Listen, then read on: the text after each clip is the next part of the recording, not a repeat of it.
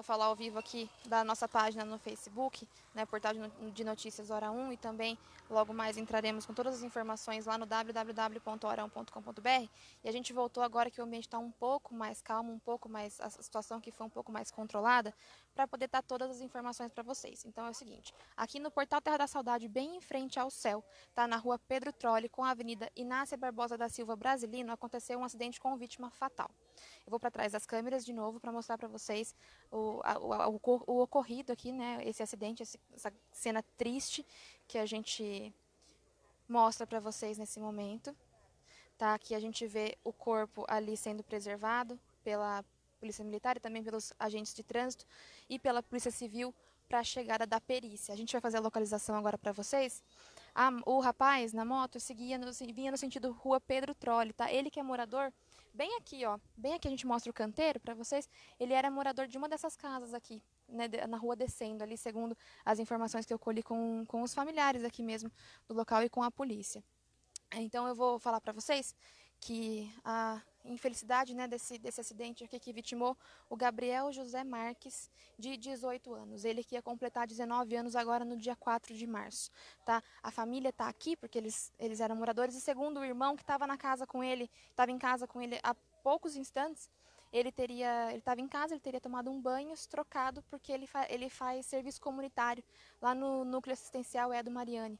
E ele estava seguindo para lá e segundo o irmão dele, né, de uma hora para outra eles escutaram um barulho, algumas pessoas que estavam passando na rua já começaram a gritar porque conheciam o Gabriel, conhecem a família, os irmãos, e, e aí o chamaram e infelizmente ele já, já tinha falecido porque foi, uma, foi na hora mesmo é, o falecimento desse jovem de 18 anos quando ele colidiu contra o poste, né, teria colidido ali contra o poste segundo as informações da Polícia Civil tá? Então é uma notícia muito triste que a gente dá para vocês. Então para você que está chegando agora, foi um acidente com vítima fatal, um acidente de moto. Ele que dirigia uma Honda CG 125 Titan e aparentemente, segundo as informações, a possibilidade é de que ele teria perdido o controle. Aqui mesmo, a gente vai fazer a localização de novo para vocês, mostrar aqui.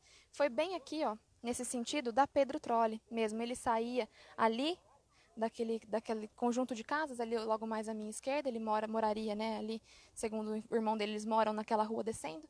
E ele vinha aqui por essa rotatória, bem na Pedro Trolli, e passava por aqui, no momento então que ele teria perdido o controle e colidido contra o poste, né? A, a, a informação de que talvez seria um carro passado, alguma coisa assim que ele teria desviado, ou alguém de bicicleta, ainda é uma especulação, não se sabe ao certo o que aconteceu, mas a priori, a princípio, as informações que a gente tem aqui da Polícia Militar, da Polícia Civil e dos agentes de trânsito que estavam aqui próximos também e vieram logo fazer o, a sinalização da, da rua, é que ele teria realmente perdido o controle da moto e, e caído, né? O acidente foi por volta de duas horas da de, perdão, de 1h40 da tarde tá? Foi por volta de 1h40 quando ele saía para prestar o serviço comunitário que ele, que ele prestava lá no núcleo assistencial é do Mariane. Essas são informações do irmão dele. Vou sair da frente das câmeras de novo para a gente poder mostrar para vocês. E as especulações são muitas aqui no local. Agora o ambiente está um pouco mais controlado. As, a gente fez, inclusive, é, duas entradas antes de fazer essa por conta disso, né? Para a gente preservar a família, para preservar é, o Gabriel também, né, a vítima, e para entender melhor o que estava acontecendo, sem, sem sensacionalismo, porque esse realmente não é o nosso objetivo aqui. É, lembrando para vocês, então, só para fazer a localização melhor, inclusive como prestação de serviço, se você passa por aqui, está tudo fechado, a rua tá, todos os acessos aqui próximo ao céu estão bloqueadas na rua Pedro Trolli, tá? É realmente uma notícia muito triste que a gente não, não gostaria de estar aqui dando para você, mas você sabe que você confere tudo o que acontece na cidade em primeira mão aqui no portal de notícias Hora 1.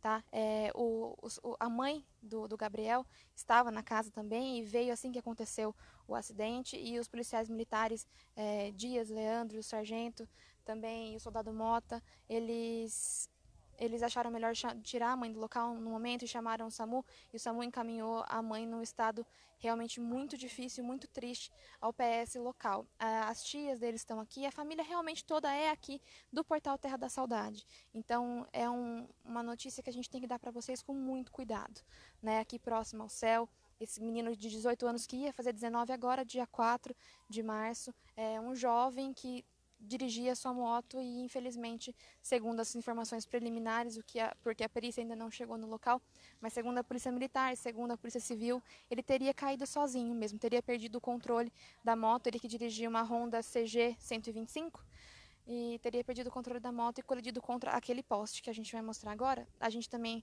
é, só está fazendo aqui é, essa prestação de serviço, informando isso para vocês, porque o corpo já já está coberto, né? Já está já não está mais aquela cena sensacionalista que nunca é nosso objetivo. A gente vai fazer de novo a localização para vocês aqui, a gente vai mostrar tudo. Tá, aqui é Pedro Trolli, então aonde ele ele de onde ele vinha, né? Aqui é a Ignácia Barbosa da Silva Brasilino, e aqui é a continuação da Pedro Trolli. E a gente vê ali, ó, já é o céu ali atrás dessa viatura. É, já é o céu, então o acidente foi bem aqui, né, no, nesse local. A gente é, conversou, nós conversamos com os familiares e eles autorizaram a gente a mostrar, inclusive a mostrar eles, porque eles estão no local. Obviamente a gente não vai identificar quem são os familiares, mas eles estão aqui do nosso lado. E o pai do Gabriel está vindo de São Carlos. Ele ficou sabendo do acidente, ele já sabe o que aconteceu e ele está vindo de São Carlos. Então a, a família está se preparando para a chegada dele aqui, porque, segundo as informações do irmão do Gabriel, que é a vítima de 18 anos, ele vai vir direto para o local, né? até porque eles moram aqui bem próximo ao local. Então, estou recebendo mais informações aqui e aqui no local também. Como eu já disse para vocês, é, foi um acidente né, na Pedro Trolli com a Inácia Barbosa da Silva Brasilino, aqui no Portal Terra da Saudade, bem em frente ao céu. Tá? Esse garoto que saía para prestar o serviço comunitário que ele presta no núcleo assistencial Mariane e acabou perdendo o controle da sua moto CG. É, Honda CG 125 Titan e colidindo contra o poste e infelizmente faleceu no local. Né? A mãe foi levada pelo SAMU ao hospital, porque os policiais militares viram que ela estava realmente muito, porque ela e o irmão mais novo do Gabriel que chegaram na cena e tiveram esse impacto.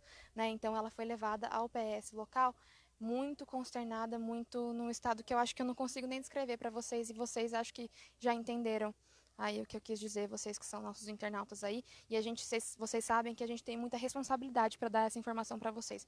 Vou mostrar de novo, tá? Só porque o corpo do Gabriel já está coberto, já está tudo, tudo normalizado aqui. A gente pediu autorização para a família, nós somos uma mídia séria, nós somos uma mídia não sensacionalista, então a gente vai mostrar para vocês de novo, tá bom? Então aqui a gente vê ali o, o, o carro da Polícia Militar, a gente vê logo mais ali o céu, né, para fazer a localização para vocês. Aqui já coberto, já isolado aqui a área do acidente, o corpo do Gabriel, um garoto de 18 anos que ia completar 19 agora no dia 4 de março. E a moto dele também está ali. A gente vai tentar chegar um pouquinho mais perto, né? Para vocês entenderem mesmo o que aconteceu. Várias pessoas que conheciam o Gabriel é, estão aqui pelo local, a gente vê que, e, e, pela consternação das pessoas, a gente, a gente vê mesmo que ele era um, um, um garoto muito querido. Muito, muito querido. É, é importante ressaltar aqui também, pessoal, o trabalho da Polícia Militar, o trabalho é, dos agentes de trânsito, dos populares, o cuidado né, em, em, divulgar tudo isso e em tratar isso que aconteceu, porque é diferente de um, de um acidente, por exemplo, numa rodovia, onde não, a gente não tem ali o familiar naquele momento, né? Aqui é uma coisa no coração da onde o Gabriel cresceu, nasceu, cresceu e, e é realmente muito, muito difícil. Inclusive, tá aqui falando para vocês esse, essa fatalidade que acabou acontecendo aqui no portal Terra da Saudade, tá? Então, o pai do Gabriel tá vindo de São Carlos, vai vir direto para cá.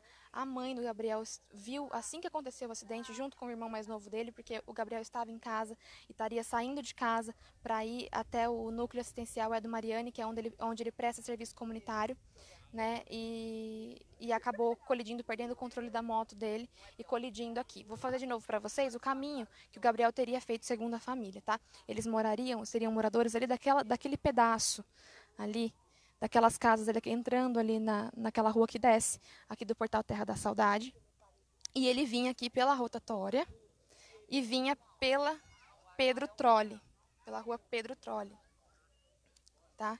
E acabou colidindo contra aquele poste que que está isolado aqui, né? Que a gente vê o corpo dele ali bem, bem no local que aconteceu, tá? É... Eu vou repetir para vocês então, pessoal, porque tem muita gente mandando mensagem no, no nosso WhatsApp do Portal Hora 1 e também aqui nos comentários da live. Que é o seguinte, então o que aconteceu foi o seguinte, um acidente com vítima fatal aqui no Portal Terra da Saudade, na Pedro Trolli, com a Inácia Barbosa da Silva Brasilino, bem em frente ao céu. É um ponto que a maioria das pessoas conhece aqui em Matão. O Gabriel José Marques, de 18 anos, que completaria 18 anos, é, 19 anos, perdão, agora no dia 4 de março, então colidiu a moto dele, uma Honda CG Titan 125, contra aquele poste aqui atrás de mim. A gente vê o local de isolamento aqui do, do acidente ainda, é tudo muito recente, acabou de acontecer. O acidente teria acontecido aí por volta de 15 para as duas, que ele estaria saindo de casa e a família que é morador, e o Gabriel que era morador, a família é morador aqui do Portal Terra da Saudade. Ele estaria saindo daqui do portal para ir até o núcleo assistencial é do Mariane, que é onde ele prestaria serviço comunitário, então ele estaria se encaminhando para lá. Conversei bastante com a família, quando a gente chegou, a família estava muito consternada, muito sem ação, sem saber como agir. A mãe, quando a gente chegou aqui, a mãe do Gabriel já tinha sido encaminhada pelo SAMU pro, pro pronto-socorro local, tá? Pro PS do Hospital Carlos Fernando Malzone, porque ela realmente estava num estado, segundo a Polícia Militar, muito, muito triste, estava muito alterada.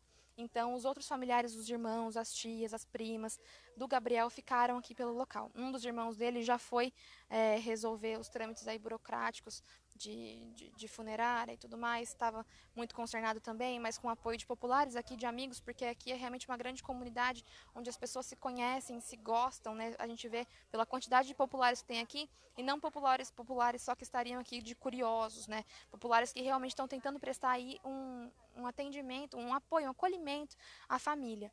Eu conversei com o irmão mais novo do Gabriel, que estava com ele momentos antes do acidente, antes dele sair de casa. Ele me contou que eles estavam bem, estavam conversando, é, comeram, tomaram. Ele tomou banho e estava saindo para ir prestar o serviço comunitário que ele presta lá no núcleo assistencial Ed Mariane.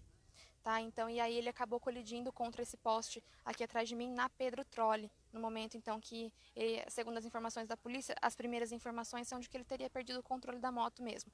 As investigações, se ele teria, é, se teria passado algum carro, alguém de bicicleta, ainda são hipóteses levantadas aí sim pela, pela Polícia Civil, mas é, a, informação que né, os populares deram, segundo testemunhas e segundo a própria Polícia Militar e a Polícia Civil, apesar de ainda não ter o laudo da perícia, é que ele teria realmente perdido o controle e colidindo ali, colidido ali contra o poste.